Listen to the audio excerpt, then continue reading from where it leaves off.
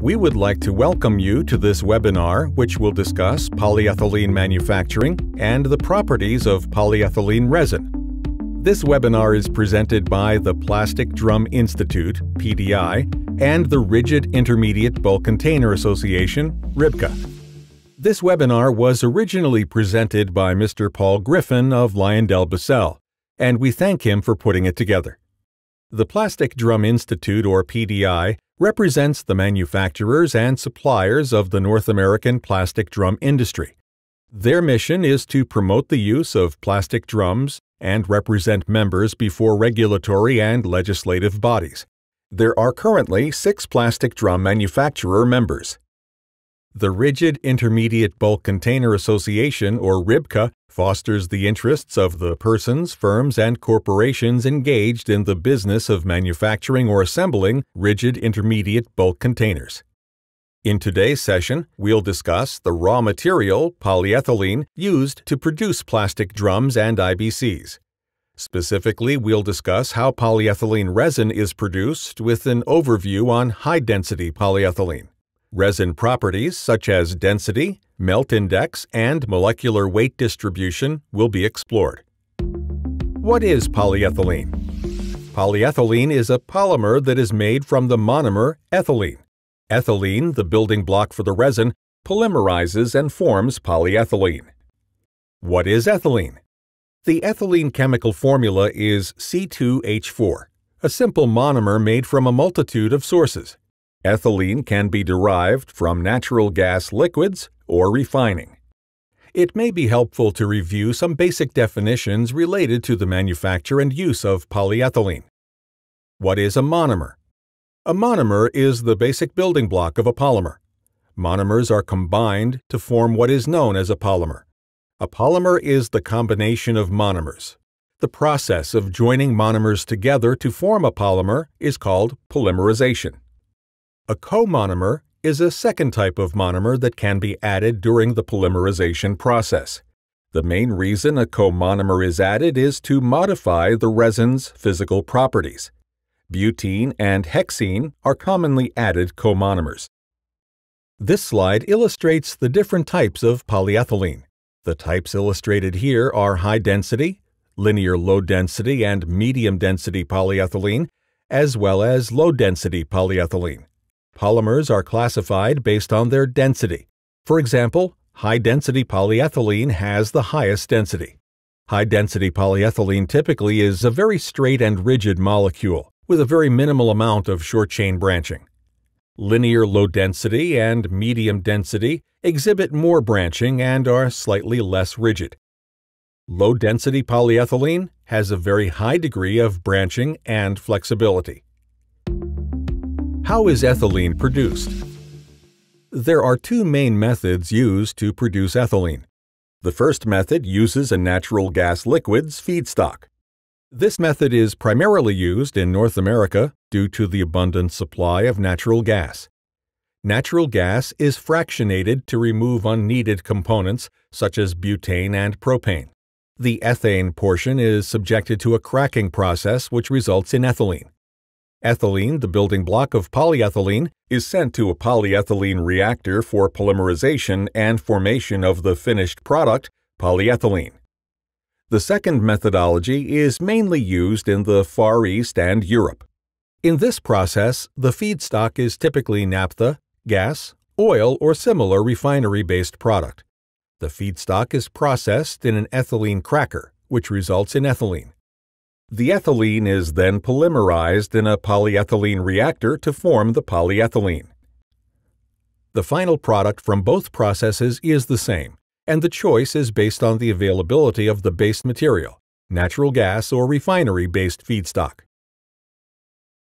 This slide illustrates in more detail how ethylene is formed from ethane.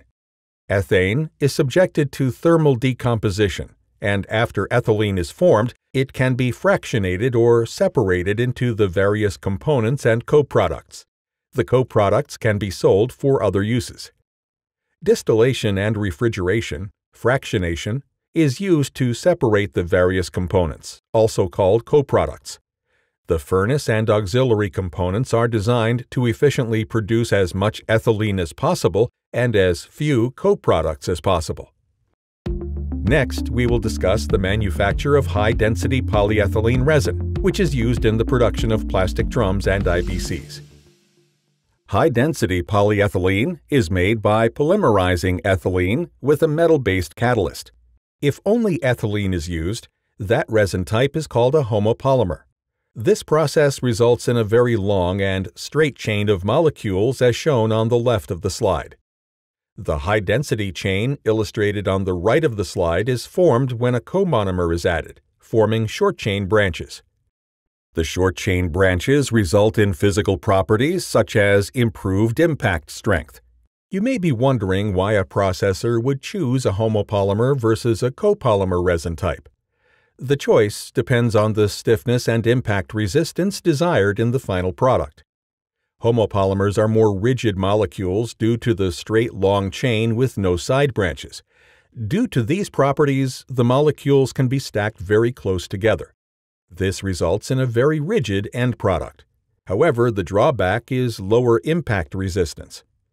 Conversely, short chain branching improves impact resistance but reduces stiffness. Generally speaking, high-density polyethylene is used to manufacture rigid products such as pails, drums, and IBCs. As stated before, the addition of comonomer affects the density and stiffness of the resin. What causes this effect? The side chains disrupt the folding mechanism of the long chains, lowering the resin's density and stiffness. Packaging manufacturers must balance the choice of resin properties in order to produce containers that can survive impact drop testing at cold temperatures and maintain the necessary stiffness. The comonomer most commonly used for polyethylene in drum and IBC applications is hexene. Next, we'll discuss the manufacturing of the polyethylene resin. Two of the most common processes used to manufacture polyethylene resin are gas phase and slurry loop. The majority of high-density polyethylene is made using a single reactor system. However, there are other processes, called bimodal or multimodal processes, which employ multiple reactors. Today, we are going to focus on gas phase and slurry loop processes. This slide provides a diagram of the gas phase process used to manufacture polyethylene. The process begins with treating ethylene and the other components before sending them to a reactor. In the reactor, which is nicknamed a matchstick reactor due to its appearance, the components or ingredients form a fluidized bed. You may be wondering, what is a fluidized bed? A good analogy would be powdered laundry detergent suspended in the air. The suspended powder is formed and then discharged as polyethylene powder. The powder is formed into pellets under heat and pressure by processing through an extruder, similar to the extruders used to manufacture drums and IBCs on blow molding equipment. During this process, various additives such as antioxidants can be added to the resin, which is then formed into pellets. This is a photo of a reactor used in the gas phase process. Next, we'll illustrate the slurry loop process used to manufacture polyethylene. Slurry loops can be vertical or horizontal. The slurry loop process is similar to gas phase in that the ethylene, catalyst, and other components are used to form ethylene powder. During the process, solids form in the suspension and are pulled off the loop. The carrier fluid is flashed off and polyethylene powder remains.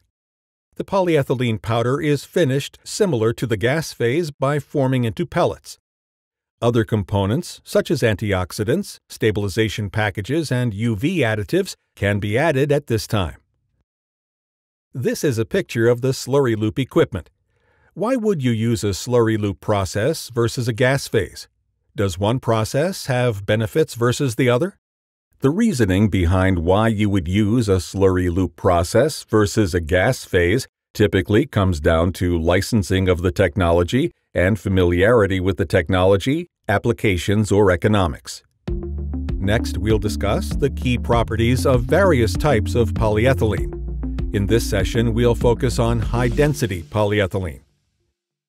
There are many different ways to categorize the properties of polyethylene, but we'll focus on three key attributes density, melt index, and molecular weight distribution. With regard to density, resins are sorted according to type as follows low density, linear low density, medium density, and high density polyethylene. Density is expressed or measured in terms of weight per volume or grams per cubic centimeter. The amount of comonomer used in each one of these types influences the different densities. To some, the more comonomer you add, typically, the lower the density. High-density polyethylene contains little or no comonomer, depending on whether it's a homopolymer or a copolymer.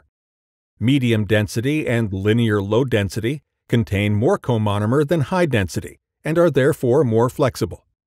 The density of low-density polyethylene is influenced by the high level of branching, similar to branches on a tree, reducing the polymer's density. Subsequently, the polymer is also more flexible. Next, we will discuss the relationship between density and crystallinity. Polyethylene is a semicrystalline material. That means the resin contains amorphous, non-crystalline content and crystalline content. The best way to describe amorphous content is a comparison to spaghetti noodles with long chains that are open. Crystalline content areas are more condensed. When you heat polyethylene, the crystalline areas break apart which allows the polymer to flow. As the polyethylene cools, the crystalline areas reform and lead to the same amount of crystalline content and density. Homopolymers exhibit a high degree of crystallization and higher density. As comonomer content increases, the resin will exhibit more short chain branching and subsequently lower crystallinity as well as density. How do density and crystallinity affect the properties of polyethylene? Polyethylenes with increased crystallinity or density tend to have increased stiffness. Conversely, resins with lower crystallinity or density are more flexible. Typically, lower density materials are used to produce flexible products, such as films and squeeze bottles. Higher density materials are used to produce more rigid products such as drums, IBCs, and jerry cans. How do we measure a resin's density? This is a view of the density testing apparatus. The apparatus consists of a gradient column comprised of alcohol and water. Annealed resin is placed in the gradient, and the density is determined based on its position relative to a control bead of known density. Melt index is another key property of polyethylene resin. Melt index is best described as a measure of the viscosity of the resin, or the rate at which a polymer will flow when melted under standard conditions. The result is recorded in grams of flow per 10 minutes. The standard test protocol for melt index is conducted at 190 degrees centigrade at 2.16 kilograms of weight. A resin with a low melt index requires more energy to process due to its high viscosity or resistance to flow. Resin with a high melt index requires less energy to process because it has a low viscosity or a low resistance to flow. A good comparison would be water to syrup. The more a resin flows like water, the higher the melt index. Cold syrup doesn't flow as well when poured and would have a lower melt index. As illustrated here, melt index also reflects the chain length of the polymer in various resins. Once again, polyethylene can be thought of as a bucket of spaghetti noodles. The noodles are tangled or knotted together. When you try to pull out the noodles with a fork, it's difficult due to entanglements of long chains, which equates to a lower melt index. If you cut the noodles with a knife, they become smaller components, Thus, removing the noodles is easier as they flow past each other, illustrating a higher melt index. This is an illustration of the apparatus used to test the melt index of the polyethylene resin. The test is conducted in accordance with standard ASTM procedures and begins by loading the resin into the testing chamber, which is held at 190 degrees centigrade, to melt the resin. A calibrated weight of 2.16 kilograms is added to the test piston resting on the resin in the heated chamber. the weight begins to push the melted resin through a capillary die of a specific diameter. The amount of resin that flows through the orifice during a specified time period is then weighed and recorded. The results are expressed in grams per 10 minutes. If a resin is extremely viscous, a high-load melt index test must be conducted. This test uses a heavier weight of 21.6 kilograms in order to record the flow. In general, high-load melt index type resins, nicknamed HLMI, are used to produce drums and IBCs due to the physical properties desired in these containers.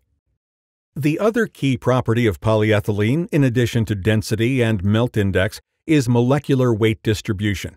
As mentioned earlier, chains can vary in length, long chains versus short chains. Molecular weight distribution quantifies the amount of each type.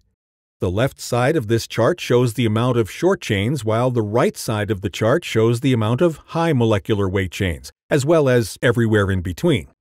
The overall height of the graph indicates the total content of each chain. If we compare the red curve to the blue curve, you'll note that the red curve has a broader molecular weight distribution and would contain a wider array of low and high molecular weight fractions. The blue curve, in comparison to the red, would have a narrower molecular weight distribution. Molecular weight distribution is one of the factors that determines how a resin is going to process. You may obtain resins from different producers, and they will behave differently due to molecular weight distribution, even though the density and melt index is similar. To recap, this webinar is intended to provide a high-level overview of polyethylene properties and how the resin is made. In addition, we discussed how to characterize the resins. The following are key takeaways. Polyethylene is a polymer compiled from ethylene, the building block of polyethylene. Some polyethylenes contain comonomers and are referred to as a copolymer. If the polymer does not contain comonomer, it's simply referred to as a homopolymer. This webinar focuses on high-density polyethylene, but there are other types medium density, linear low density, and low density. Each resin has pros and cons that suit specific applications. For example, high density is used when rigidity is desired. Gas phase and slurry loop are the most common production processes for HDPE. There aren't any pros or cons regarding process choice. The choice typically has more to do with licensing of the technology and familiarity with the technology, applications, or economics. Finally, the webinar addressed how to classify different types of high-density polyethylene as well as polyethylene in general. The three main characteristics discussed were density, melt index, and molecular weight distribution. Thank you for participating in this educational webinar today. If you have further questions, please email Susan Nauman, Executive Director, at snauman at industrialpackaging.org or Paul Griffin at paul.griffin at lyondellbasell.com.